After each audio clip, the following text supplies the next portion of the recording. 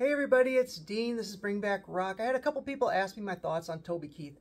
So I thought about it a little bit, and then yesterday at a work function, I heard two of his songs. I thought, you know what, I'll go ahead and just give my two cents real quick. Uh, I know we've also lost people in the rock community recently. The, the, drummer from Helix just passed, and Steve Riley was pretty recent from W.A.S.P. and LA Guns. So on Toby Keith, I don't listen to country. My parents listened to it a lot when I was growing up, so I was exposed to it. I um, songs that I tended to like were usually kind of funny, like uh, Jerry Reed, She Got the Gold Mine, I Got the Shaft, or Hard to Be Humble by Mac Davis.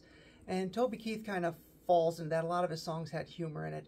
Um, so I can definitely relate, now being of a certain age, to songs like uh, Not As Good As I Once Was.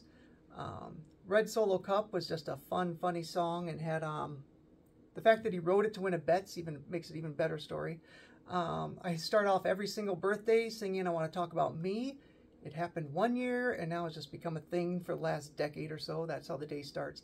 Um, so, and then also, if you were like me, and you're around on September 11th, and you're glued to your TV set, uh, watching it first in confusion and shock, and then sadness and horror, followed by anger and rage, which led to resolve.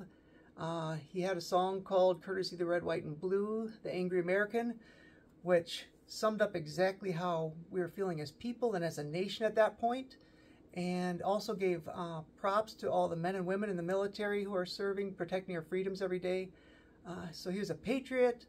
He had a sense of humor. He just seemed like the kind of guy you would want to hang out with on a Saturday night. Um, so to all his friends, family, and fans, uh, from my teeny tiny little sliver of the rock world, our condolences. And to the man himself, Cheers. Well done, sir. And we'll be back next week talking about rock and roll. All right, so thank you for just giving me a couple minutes of your time. Like I said, the fact that I don't listen to country and it crossed over and know more than just what I just talked about about his music, and he crossed broke a lot of uh, broke a lot of boundaries. So uh, he'll be missed in the entertainment world. All right, thanks for your time. We'll catch you later.